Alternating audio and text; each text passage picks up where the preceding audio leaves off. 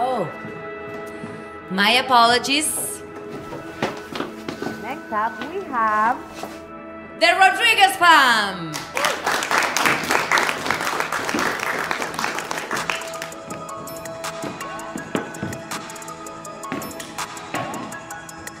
I done seen city back that ain't like this.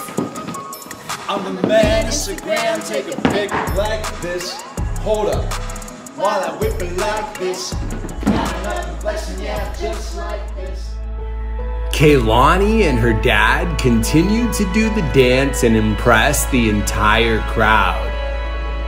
When they finished, the crowd goes wild and gives them a standing ovation. Based on the audience's reaction, there was no doubt who the winner of the talent show was. Kaylani picks up her camera and continues to vlog this unforgettable moment.